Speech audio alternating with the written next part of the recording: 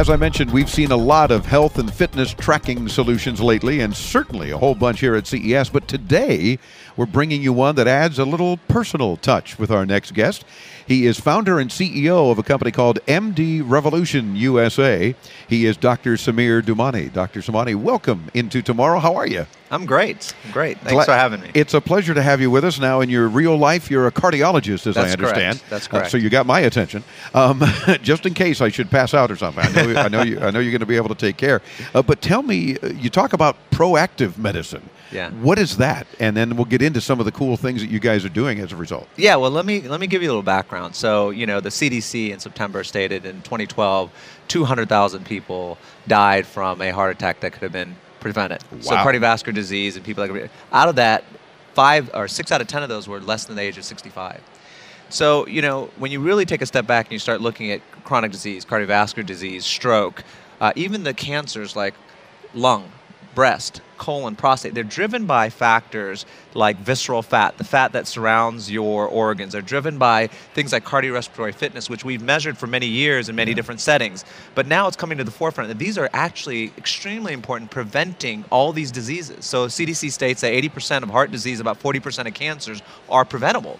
And you know, these are behavior driven diseases in large part yeah. in many cases. So you're not going to solve these behavior diseases with a pill and pharma and these industries are starting to figure that out. And so what I did was is uh, about two and a half, three years ago, I started introducing products that will help people quantify and track what they're doing so they can try to be healthier. And I realized that there was real value. There's a science to this. It wasn't just a technology that, that was a fun gadget, that there was actually some sort of organization that could be placed around this. My, my patients would be managing their blood pressure better. And, and I realized that it wasn't the doctor who was best suited to show them how to do this stuff. And and so we started MD Revolution um, at mdrevolution.com. You can go to and see a little bit. We started that two years ago. It was, it was a clinical lab to use all these devices. I had a IT person, a personal trainer, uh, you know, a receptionist, but no, you know, it was more about how do you use these devices? How do they come together?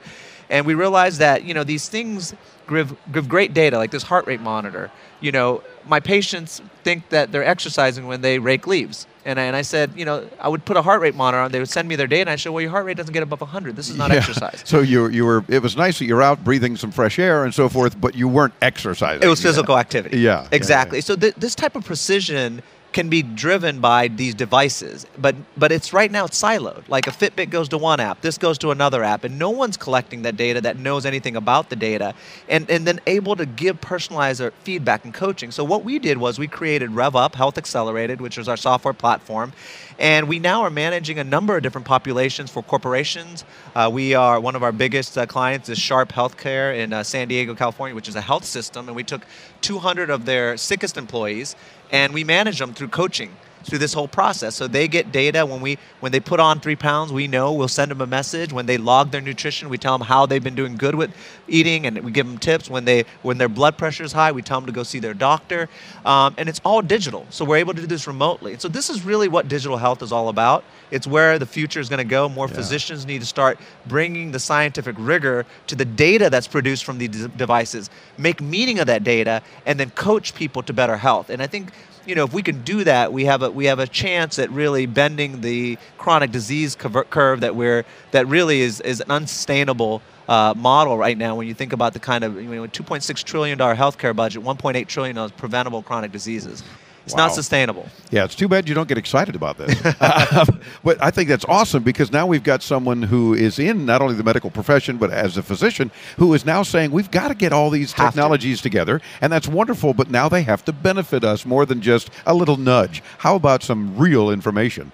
And that's cool. Well, we got to go from um, a, a, cool gadget to actual outcomes, and yeah. a lot of people right now are just uh, cool with people buying a widget and, and, and using it and selling it. But in order to really make a difference in people's health, we have to show that, that there's actually an outcome that you can generate from using these tools. Yeah. And even like you said, if it means, hey, you've you've gained three pounds, stop that. You know, yeah. tisk tisk. Sometimes from your doctor, you need to hear this, and all right, you know, you're right, and I've got to watch it. I've and it doesn't take, have to be a make doctor. some changes. It could well, be, that's true. It could it, be a device in the long run. It could be a, it's software. I have I have people with exercise physiology uh, degrees that come as undergrads that are now coaching people. I mean, there's nothing nothing wrong with saying, you know what, you need to get more steps if it's somebody that understands how it plays into your larger health. So the whole idea is that the doctors don't need to be, you know, involved. In fact, they can just be maestros or coordinators of population health management. And that's kind of where digital health is enabling uh, a, a new kind of medicine.